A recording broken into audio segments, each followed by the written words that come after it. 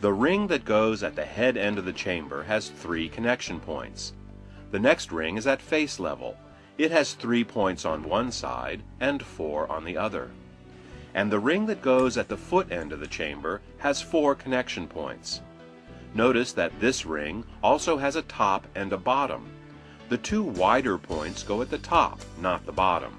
If you see an odd angle on the top or bottom rails of the frame, you need to turn the foot ring to the correct position and proceed with the assembly. Because the chamber can be set up for entry from either side, you can have the top rail in one of two positions, either on the right or on the left. An extra rail bar is included in the kit. Don't put both rails on top, as that will make it very difficult to get in and out of the chamber. Place the top bar opposite the side where you will enter. As you can see, it is much easier to enter on the side without the bar. And while getting in and out, do not lean on the rail for support, it might bend. Use it only for balance. Now, let's get the frame inside the chamber. By putting the frame inside the chamber, disassembled, and waiting until the chamber is inflated to assemble it, it will be much easier to install. To do this, go inside the chamber and have someone hand you the frame pieces. Now, turn on the compressor and zipper and buckle them in place. Once the chamber has gone to 1 psi, let the person know that they can start to assemble the frame. If you can't close the pin connectors on the last few pieces, don't worry. As long as the poles are in place, it's fine.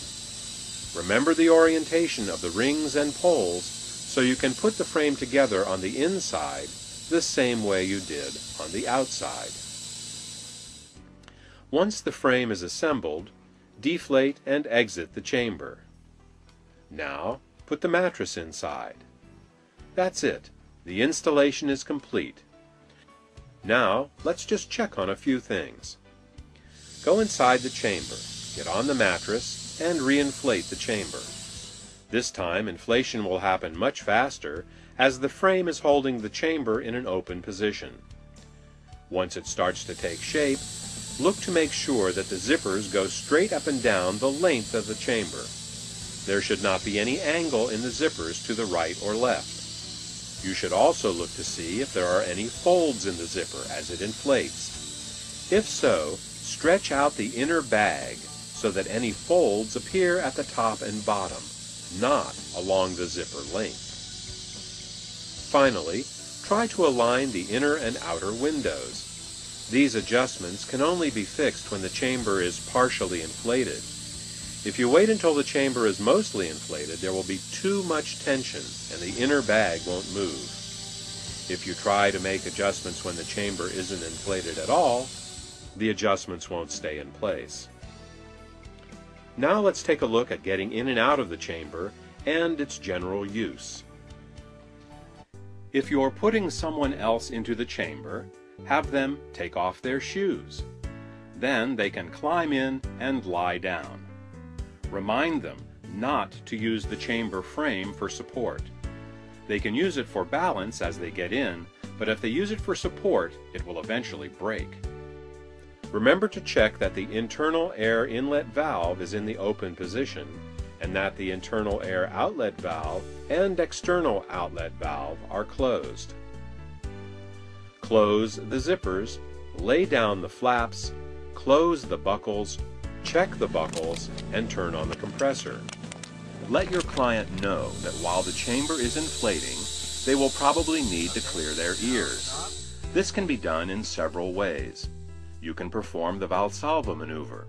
While pinching the nostrils and holding the mouth closed, try to blow air out. It's a good idea to do this at least every 30 seconds while the pressure is going up so you can stay comfortable. Yawning and swallowing can also be useful. You only need to do this once the chamber starts to take shape. If a person is unable to clear their sinuses and ears at the speed that the chamber is inflating, they can open the internal air outlet valve. When their sinuses and ears are clear, they can close this valve and continue pumping up the pressure. You can also do this for them by opening the external air outlet valve. But since it's their ears and sinuses, they are better suited to know how much pressure relief they need. A person should never experience pain in the chamber. If they do, then decrease the pressure immediately until the pain is gone. Because of the nature of the sinuses, it is easier to clear them when the pressure differential is small. If you wait to clear your ears and sinuses and the difference is great, you may not be able to and should lower the pressure until you can. It is also possible for one ear to clear and the other to remain closed. For most people, clearing their sinuses becomes easier over time. If the person inside wants to talk to you and you can't hear them, simply turn off the compressor for a second, but don't forget to turn the compressor back on. When they are ready to get out, turn off the compressor and open up the external air outlet valve here. Although it has a sound muffler on it, you might wrap your hand around it in the beginning to make it even quieter. Once the pressure is down to 1 psi, you can disconnect the air inlet hose. The chamber deflates more slowly at lower pressures, so disconnecting the air inlet hose at 1 psi will maintain a stable deflation rate. Typically, you want to decrease the pressure by about 1 psi per minute. However, if you need to get a person out quickly, take off the hose here and pull up on the blow-off valves here and here. This will decompress the chamber very quickly. This maneuver can also be executed by the person inside. Pushing up with a finger against the blow-off valve will release air quickly. This should be done only if circumstances demand it, as it may be hard on the sinuses of the person inside. Rapid decompression can also cause a momentary fog to appear inside the chamber. Decompression fog is harmless and nothing to be concerned about. Once the pressure gauge reads about 1 quarter psi, you can open the buckles like this, then open the zipper. Move the flap nearest you out of the way, reach in with your hand to help the person out, and you're done. To use the chamber by yourself, prepare the hoses and valves as discussed earlier. Unlike when you put another person into the chamber, solo operation requires the internal zipper to be open and the external zipper closed. One option is to close the bottom buckle from outside the chamber. This is a matter of personal preference. Now, turn the compressor on and climb in. While lying down, first grab the two flaps and rotate them inward, and hold them out of the way with your knees. If you try to sit up, you won't be able to close the buckles. Now, grab the tan fabric below the buckles, not the buckles themselves, align them and pull them closed. There are a total of six buckles.